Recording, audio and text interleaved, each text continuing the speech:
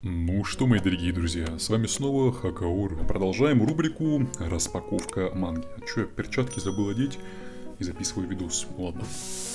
Так, и здесь у нас полная коллекция, точнее полный сбор манги «Распятие шести». 12 томов. 12 том вышел совсем недавно. Думаю, даже обложку его фанаты могли не видеть. Начнем со свертка.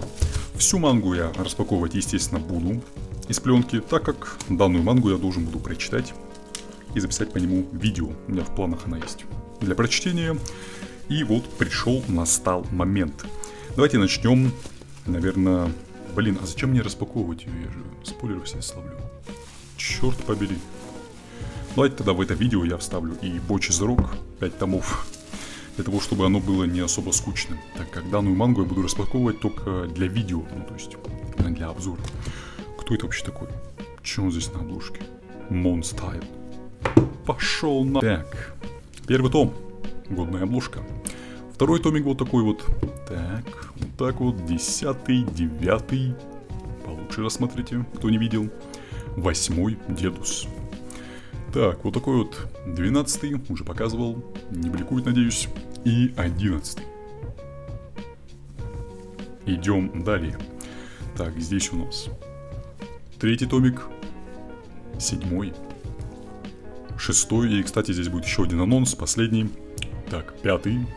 Последний имеется в виду на данный момент четвертый томик. И на этом все. Спасибо за просмотр.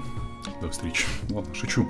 Сейчас Боч из Рок достаю. Пять томиков. Они у меня лежат здесь тоже. Думал разделить на два ролика, но что-то я подумал, да, действительно. Распаковывать мангу и ловить жесткие спойлеры. А там жесткие спойлеры.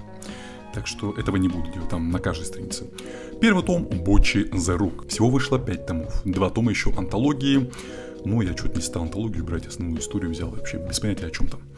Издание, как я и говорил в ролике про Дору Хидору, такое же, как и у Дору Хидору. Охереть. Тут у нас не желтеющая бумага и есть обилие цветных страниц в начале, причем глянцевых. Обычных на сетке я не видел. Второй том я не держал. У меня был только первый том и все.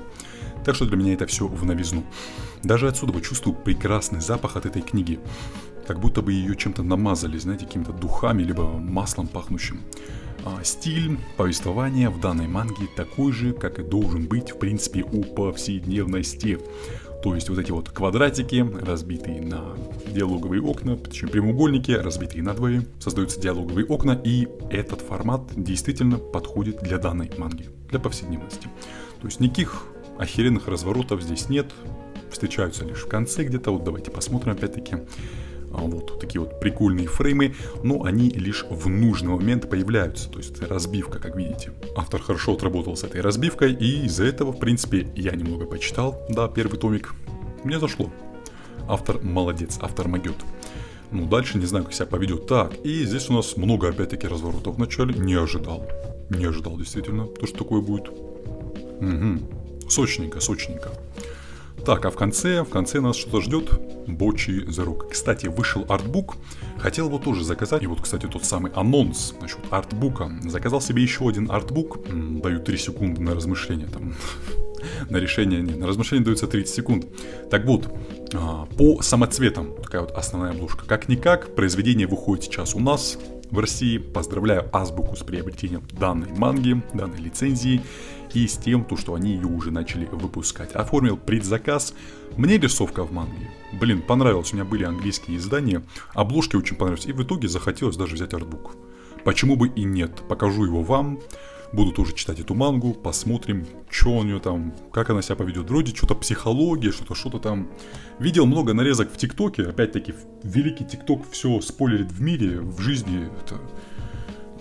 Или YouTube Shorts, и там, и там, в общем главная героиня там попадает или будто бы с ней происходят те же события как-то, ну, так я понял, в общем, все.